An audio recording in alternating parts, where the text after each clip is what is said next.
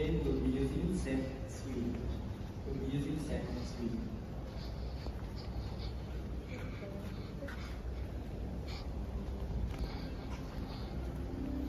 Let us